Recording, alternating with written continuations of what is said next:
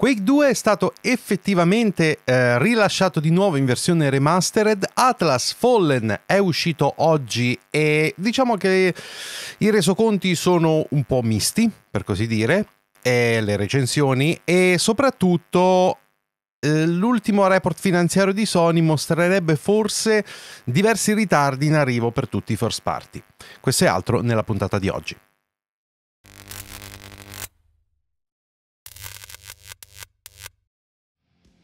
Ben trovati su Crystal News, gente, un saluto a tutti quelli che stanno seguendo questo episodio su YouTube oppure sul podcast.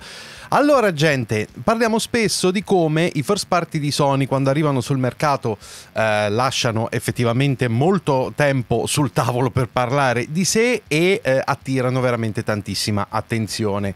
E sono alcuni dei prodotti meglio realizzati e soprattutto eh, dei prodotti che diciamo stanno nei tempi. Però, però, ultimamente pare che le cose stiano un po' cambiando perché l'ultimo report finanziario parrebbe eh, diciamo preannunciare dei ritardi piuttosto importanti.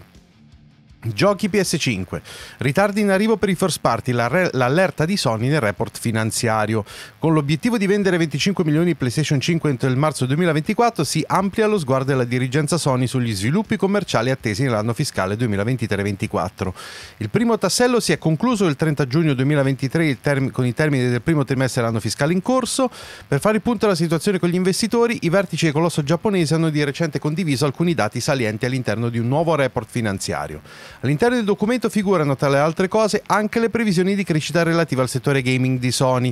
Nel descrivere le previsioni di crescita, l'azienda mette in luce un dettaglio importante, ovvero l'impatto negativo generato da cambiamenti nelle date di lancio di una parte dei titoli first party. E questa è una cosa abbastanza importante. Perché è abbastanza importante? Perché è di fatto la punta di diamante dell'offerta Sony. Nel documento non sono citate le produzioni specifiche che saranno interessate dai rinvii, ma a questo punto è certo che alcune delle software house parte di PlayStation Studios hanno avuto necessità di più tempo del previsto per terminare i propri progetti. E il progetto che abbiamo confermato più vicino è ovviamente Marvel Spider-Man 2 che arriva il prossimo 20 ottobre su PS5.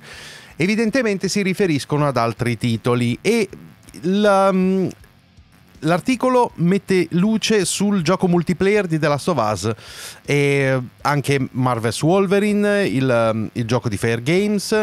Eh, insomma, bisogna capire una cosa, ragazzi, ovvero quando si parla di giochi first party Sony si riferisce ai giochi che sono degli studi dei PlayStation Studios, ok? E quindi dei giochi che con tutta probabilità arriveranno esclusiva a PlayStation.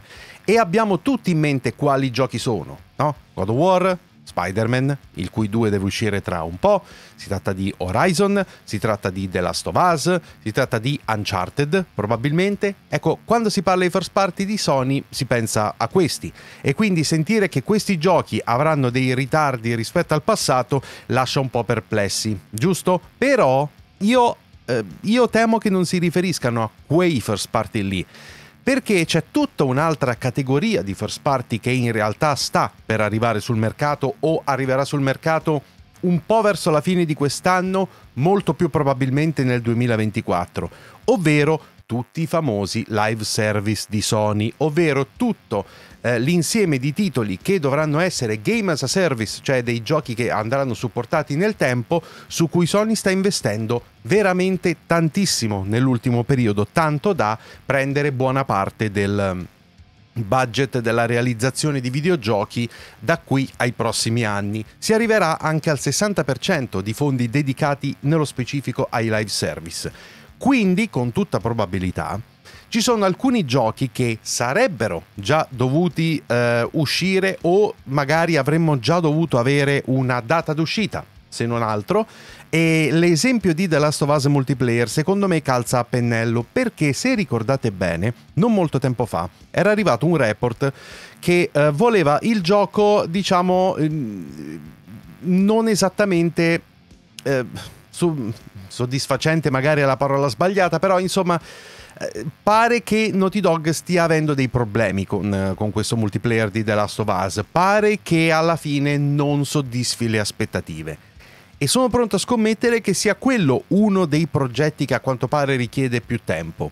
Quindi, secondo me, questi ritardi non si riferiscono tanto a Spider-Man, God of War, Horizon, eccetera, i classici giochi single player first party Sony, bensì tutti questi altri.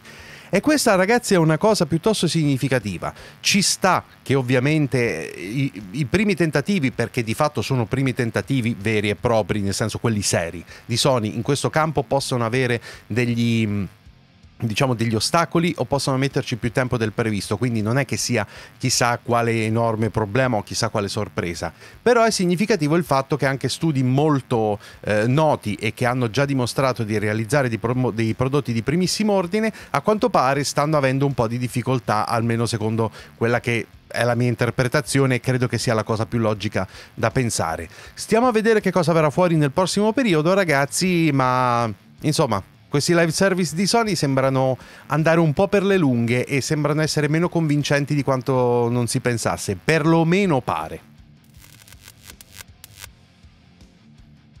Nelle ultime ore è uscito un gioco che aveva destato la curiosità di molti. Questo gioco è Atlas Fallen, il nuovo eh, action GDR di Deck 13 che non è un Souls-like a sto giro, ha attirato abbastanza attenzioni. Adesso il uh, gioco è uscito e quindi vediamo un po' qual è stato il responso della stampa e anche un po' dell'utenza, diciamo così. Atlas Fallen pronti a combattere il trailer di lancio del nuovo action GDR di Deck 13.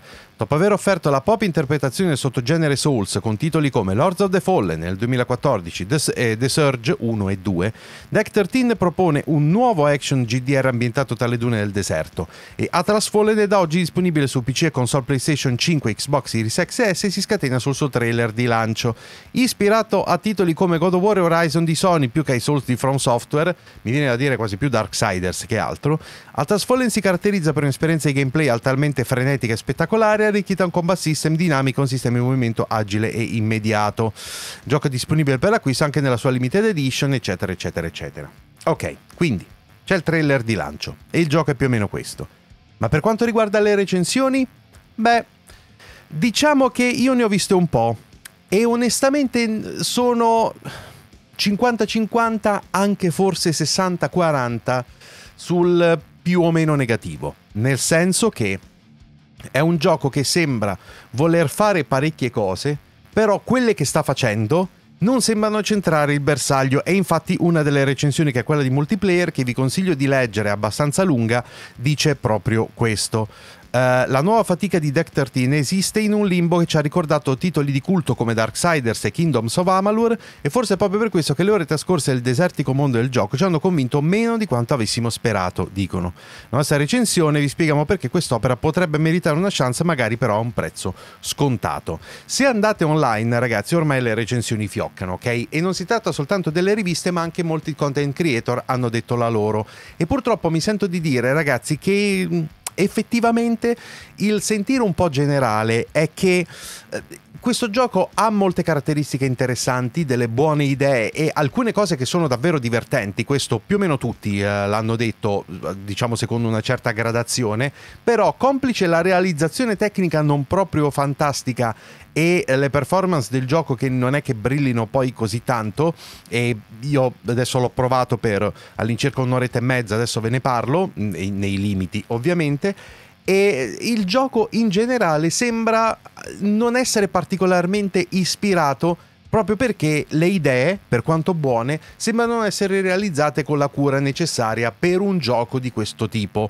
ovvero molto frenetico, molto incentrato sul combattimento, molto sul girare di qua e di là in questo open world di, io ho come l'impressione che Deck 13 abbia, eh, come si dice, no? ehm, azzannato un osso un po' troppo grande con questo titolo qua. Perlomeno questa è la mia impressione. Io l'ho giocato un'oretta e mezza, ragazzi, e tra i vari problemi tecnici su PC che stranamente si sono eh, verificati, che strano, eh?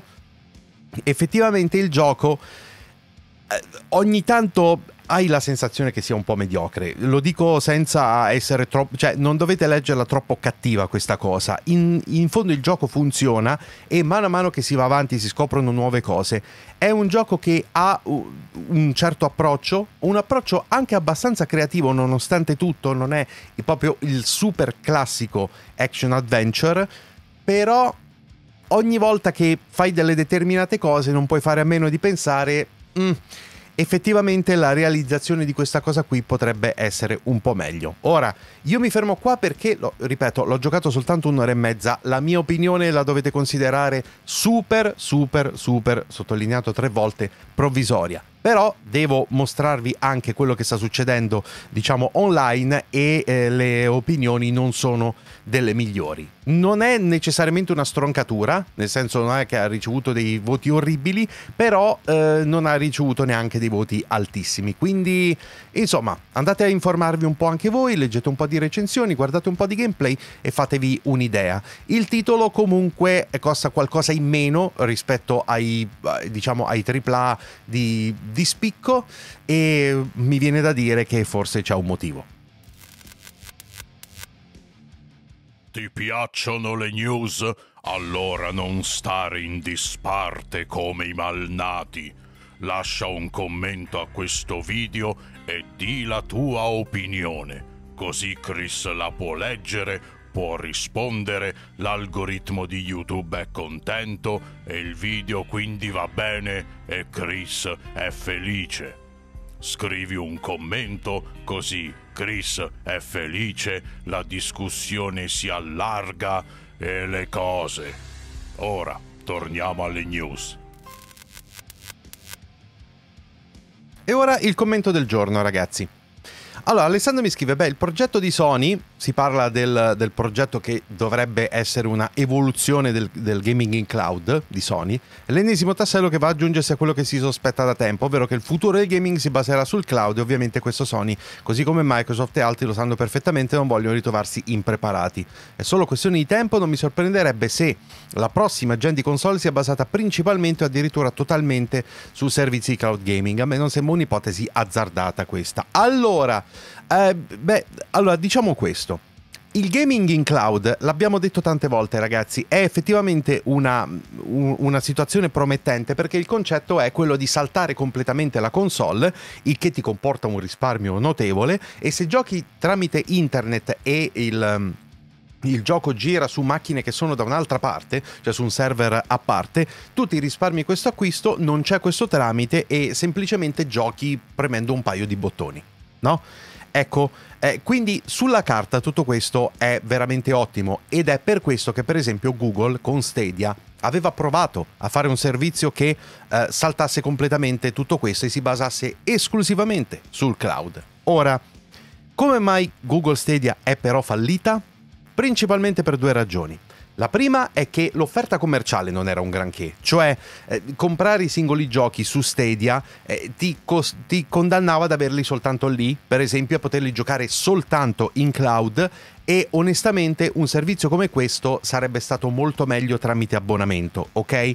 Tanto che a mio parere l'offerta migliore presente sul mercato diciamo a livello commerciale, eh, non a livello tecnico, intendo è xCloud perché se tu ti abboni a, a, Game Pass Ultimate hai tutta quanta la libreria disponibile da giocare su non proprio tutta nel senso perlomeno sulla carta hai tutta quanta la libreria e quindi lì funziona. Quindi Google Stadia è fallita perché effettivamente l'offerta commerciale non era un granché ma la tecnologia era veramente buona. Molte persone che, che, giocavano spesso su Stadia me ne hanno parlato spesso come effettivamente siano stati molto soddisfatti del, del servizio Stadia, al di là della scelta commerciale dell'acquisto di ogni singolo gioco, quello che abbiamo appena detto. Però è fallito lo stesso. Come mai?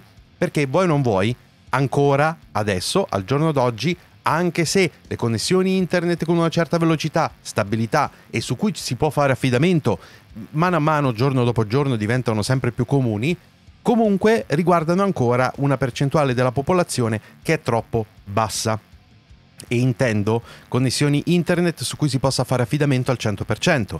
Non è solo questo il fatto, è che la tecnologia di ridondanza che fa sì che virtualmente non manchi mai internet ancora non c'è. A me è successo spesso, per esempio, nonostante che io abbia adesso una fibra veramente velocissima, e ogni tanto succede eh, che salta internet per, per, a, a volte per un'oretta, a volte per due giorni, maledizione e sono disservizi che possono capitare. E se succede questo, tu sei fuori, no? E questo non va bene. prima di avere un gaming in cloud che sia effettivamente diffuso e che possa potenzialmente sostituire completamente o comunque essere percepito come un'alternativa del tutto fruibile dalla maggior parte delle persone al gaming in locale tramite console, PC o che dir si voglia, ecco, eh, deve passare ancora un po' di tempo, la tecnologia deve migliorare. Allo stato attuale e nelle previsioni reali, non quelle fantasiose del mondo degli unicorni, il gaming in cloud è una nicchia ancora. Si sta espandendo, quindi le aziende stanno investendo per non trovarsi impreparate per il futuro e potrebbe essere il futuro, ma mi pare difficile che sarà il futuro già nella prossima generazione di console. Siamo nel 2023, eh? La prossima generazione di console arriverà fra 4-5 anni.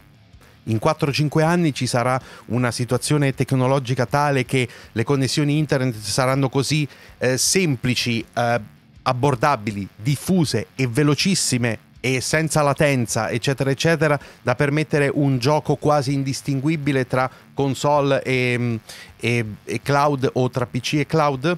Mm, io ne dubito onestamente, senza considerare il fatto che devono essere così anche le reti mobile, perché moltissime persone giocano in mobilità, tipo con la Switch, giusto? O tramite wifi o quello che deve essere. Quindi, eh, secondo me ci vuole ancora un po'. Secondo me qualche cosa si potrebbe dire non nella prossima generazione ma in quella ancora. Per adesso però io credo che il gaming in locale sia qui per restare ancora per un bel pezzetto.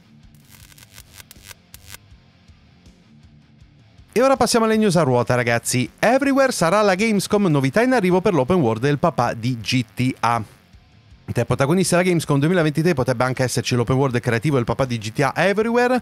Eh, sono gli stessi ragazzi al seguito di Leslie Benzies, l'ex presidente di Rockstar North. Nell'affacciarsi sui social dicono che eh, ci sarà eh, quantomeno la pubblicazione di un nuovo trailer ricco di dettagli su contenuti di lancio e sulle attività da svolgere. Il multiverso virtuale plasmato da Build a Rocket Boy è destinato ad aprire i battenti entro la fine dell'anno, così pare, ma io ci credo quando lo vedo, questa cosa qui.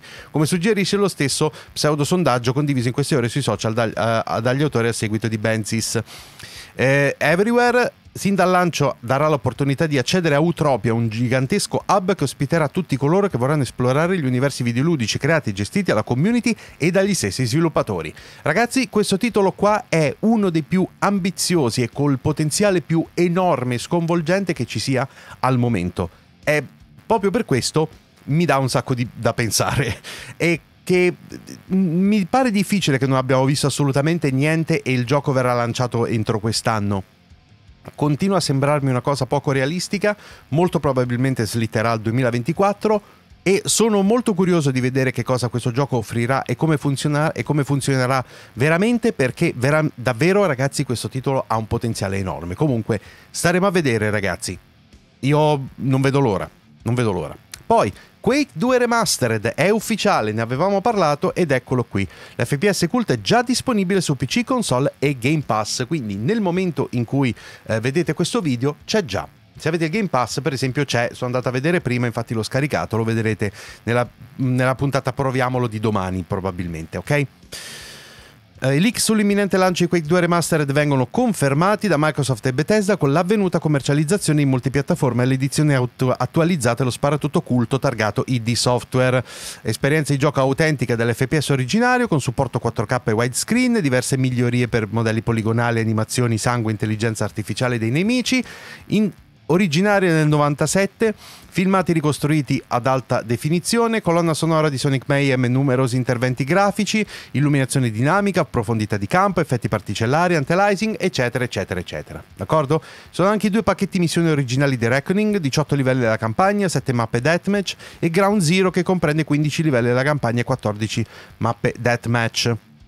Oltretutto una nuova esperienza single player multiplayer sviluppata a Machine Games Call of the Machine porta i giocatori nelle profondità dello spazio per fargli affrontare ben 28 livelli della campagna e gli abomini alieni che infestano la mappa Deathmatch. Insomma, un pacchettino sfizioso del, di un Quake che effettivamente cioè, è fine anni 90 ragazzi, quindi è un gioco parecchio retro, è proprio il boomer shooter questo qui, però in versione rimasterizzata e credo che abbia ancora molto da offrire. Quindi, se vi interessa questo tipo di giochi, andatelo a scaricare adesso da Game Pass.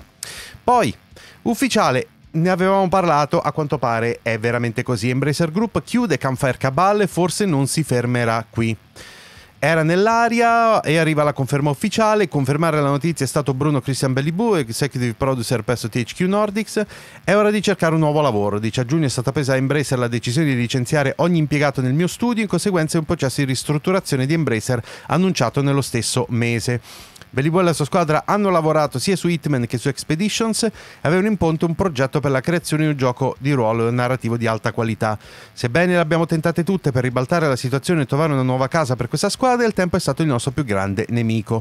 Uh, Tuttavia, lo studio di Campfire Cabal in realtà apre pista di una serie di ristrutturazioni pianificate da parte di Embracer Group, un progetto che la società ha annunciato meno di due mesi fa e coinvolgerà anche altri team con potenziale chiusura di ulteriori studi. Purtroppo queste ristrutturazioni sono piuttosto frequenti e eh, Embracer Group aveva investito tantissimo, si stava espandendo da morire, probabilmente hanno un po' esagerato, qualcosa deve essere andato storto e adesso devono rientrare un po'. Purtroppo è molto triste per le persone che lavorano in questi studi, spero tanto che trovino velocemente un'altra sistemazione adeguata, però purtroppo è così che va il mercato, perciò non c'è molto altro da dire. Peccato per i giochi che sarebbero potuti uscire da lì, ma chissà che non escano da altre parti. Poi Mortal Kombat 1 avvistata Invasions, la nuova modalità single player spunta in Brasile. Un utente Reddit originario del paese latinoamericano riferisce di aver realizzato una scoperta al momento del preordine del gioco presso un negozio locale. Appassionato si è trovato di fronte a una pubblicità di Mortal Kombat 1 che riporta anche un'immagine retro della confezione del picchiaduro. E su quest'ultima trovo posto dei dettagli legati a un'ancora inedita modalità di gioco battezzata Invasions e dovrebbe essere una nuova modalità single player. Sulla cover si legge attraverso i rami di Mortal Kombat facendo fronte a invasori di ogni epoca e un'esperienza giocatore singolo completamente nuova. Eh, non ci sono conferme da NetherRealm, perciò dovremo attendere e manca poco alla partenza della closet beta, quindi magari ne sapremo di più. Però è interessante che ci siano nuove modalità per un gioco che ormai comincia ad avere i suoi anni, nel senso eh, le, le varie modalità di Mortal Kombat sono abbastanza collaudate, quindi sentire che ne hanno inserite delle nuove eh, è molto, una cosa molto buona, speriamo che siano eh, divertenti. D'accordo? Ah sì, a proposito, c'era anche la conferma della presenza di Reptile, Ashra e Avic. Che bello Reptile, era un po' che non lo vedevo.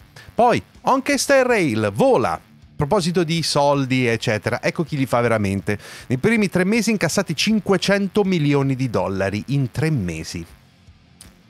Sì, anche Star Rail si è dimostrato un successo nei primi tre mesi al lancio globale, il gioco ha infatti incassato la bellezza di 500 milioni di dollari, quasi quanto guadagnato nello stesso periodo da Genshin Impact. Già se arrivi soltanto a paragonarti ai soldi fatti da Genshin Impact vuol dire che proprio sei nella stratosfera e va bene.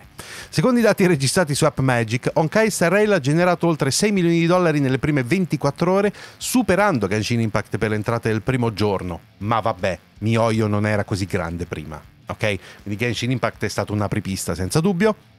Gli entrate e-app del gioco hanno superato i 130 milioni di dollari un mese dopo il suo lancio globale. Eh, e oltretutto deve ancora arrivare su PlayStation. ha, generato anche 19 milioni di download a livello globale. In ogni caso, Cina e Giappone rimangono i due maggiori eh, ganci di traino delle entrate. I giocatori su mobile hanno speso un totale di 500 milioni di dollari dal 26 aprile al 25 luglio, secondo i dati illustrati da Sensor Tower. Si tratta di una cifra astronomica se pensiamo che Genshin Impact ha generato 515 milioni di dollari nei suoi primi tre mesi. Poi c'è stato il boom e quindi i miliardi di dollari sono cominciati a volare quella è un'altra questione. Però questo è, è dei è una delle cose che ogni tanto bisogna ricordarsi, ragazzi. Cioè, quando si parla di chi veramente fa i soldi nel mondo del gaming, ecco questi. Questi fanno veramente i soldi nel mondo del gaming. Andiamo avanti, va. Ma, parliamo di Baldur's Gate 3, va, che, un, che pare essere veramente un successo enorme, il che mi fa molto piacere. Perché oltretutto ne avevamo parlato la, proprio ieri, a quanto pare ha sorpassato ufficialmente Tears of the Kingdom su Metacritic. Ve la faccio breve ragazzi, al momento ha raggiunto un punteggio Metascore di 97, ovvero il gioco di Metacritic con il punteggio più alto di quest'anno ok? Superando Zelda Tears of the Kingdom, il che è da solo una cosa allucinante e la progressione che il titolo ha registrato è stata pazzesca e l'ascesa non accenna a diminuire e si ricorda che Baldur's Gate 3 è il più preordinato sul PlayStation Store che fra tutte le cose eh, la, mm, il Metacritic gli 800.000 giocatori su Steam, questa mi sorprende ancora di più, perché non mi sembrava proprio un gioco da console questo qui, ma a quanto pare invece... Beh, bene, non trovate? Bene così. E oltretutto c'è l'ultimo hotfix per chi volesse eh, qualche informazione, c'è una lista, andatela a leggere nel dettaglio, insomma c'è una patch piuttosto importante. Poi EA purtroppo chiuderà i server di Crisis 3, Dead Space 2 e Dante's Inferno. Non c'è molto altro da dire, attraverso la sua pagina dedicata al supporto online, EA ha comunicato che entro la fine dell'anno chiuderà i, di, i server di Crisis 3, Dead Space 2 e Dante's Inferno. Purtroppo sono cose che capitano se il gioco non è poi così particolarmente vivo, eh, EA decide semplicemente di liberare risorse e metterle altrove. Non so se poi deciderà di lasciare aperta la possibilità ad altri di appoggiarsi a delle formule, diciamo, custom, però quando si tratta di multinazionali questa cosa di solito non è tanto possibile, quindi beh, Staremo a vedere se qualcosa verrà fuori. E in ultimo, ragazzi, prima dell'indiscrezione, oggi è uscito, anzi veramente era ieri, se non sbaglio, Stray Gods, The Role Playing Musical, ecco il trailer per celebrare l'uscita. Questo gioco qui è uh, un, un'avventura story driven con forti elementi ruolistici e di molta componente di musical proprio. È finalmente arrivato sul mercato videoludico. Sono i ragazzi Summerfall Studios e Humble Games da cui mi servo spesso io per esempio. Eh, 10 agosto 2023, quindi uscito ieri. Uh, Stray Gods, The Role Playing Musical, un'avventura ricca di storie sviluppata a Summerfall Studios. I giocatori impersonano Grace in un mondo in cui le divinità greche vivono nascoste da noi. Usate il potere della persuasione musicale per attirare nemici, ne- eh, amici, nemici e amanti. Eh, bene, sì, c'è anche questo tema. Però io l'ho provato ragazzi, lo trovate nella, nella, serie Proviamolo sul secondo canale YouTube oggi alle 15, esce, quindi andate a seguirmi anche là se ancora non l'avete fatto. Il gioco sembra promettere molto bene, l'ho soltanto provato quindi vi posso dare solo una prima impressione, però sembra essere fatto molto bene, perciò se vi intriga un po' lo stile sapete dove andare a cercare. E infine, in discrezione direttamente da Reddit, pare che un ex impiegato di Rockstar eh, sembra aver messo sul suo profilo LinkedIn di aver lavorato non solo a GTA 6 a, dal 2015, ma anche a Bully 2 e 3. Beh, va preso un attimino, eh, sì, il 3 potrebbe essere un errore, probabilmente solo Bully 2, la cosa va presa un po' con le pinze, però sembra essere confermato il fatto che il progetto esistesse, no? E poi però fosse stato bloccato di fatto, ok? Però questa è una cosa che non sapremo fino a quando Rockstar non ci dice qualcosa di ufficiale, che abbiamo parlato tantissimo, ma ancora non si sa niente. E per quanto riguarda l'offerta del giorno, vi do il gioco del giorno, che è Atlas Fallen. Sapete, ne abbiamo parlato prima, che le recensioni non sembrano proprio entusiastiche, però allo stesso tempo magari è un gioco che vi attira lo stesso. E se così fosse, sappiate che su Instant Gaming è in sconto già al 23%, uscito da poche ore, e costa 38,49 invece di 50. Quindi decidete voi, io vi ho dato un po', eh, diciamo, la l'opinione generale cui, che si sta dicendo di questo gioco, io comunque lo giocherò e ve ne, vi dirò di più. In ogni caso, se volete prenderlo, ricordate come sempre che io sono partner ufficiale di Instant Gaming e se lo volete prendere attraverso il link qui sotto in descrizione dell'offerta del giorno, è un link affiliato, perciò è un buon modo per supportare il mio lavoro, il canale e il format delle news. Bene gente, è tutto per le news di oggi, grazie mille per aver visto questo episodio, noi ci vediamo al prossimo come sempre, mi raccomando iscrivetevi al canale se ancora non l'avete fatto, iscrivetevi anche al secondo canale, seguitemi su Twitch, lasciate un bel like a questo video se vi è piaciuto e qui sotto in descrizione trovate come sempre tutti i link ai miei social e community come Instagram e Telegram, tutti i link per supportare il canale tra cui i link affiliati ad Amazon, Instant Gaming e il link a Patreon e anche il link alla playlist con tutte le Crystal News che come sapete escono ogni giorno alle 7 su YouTube e sul podcast. A domani ragazzi!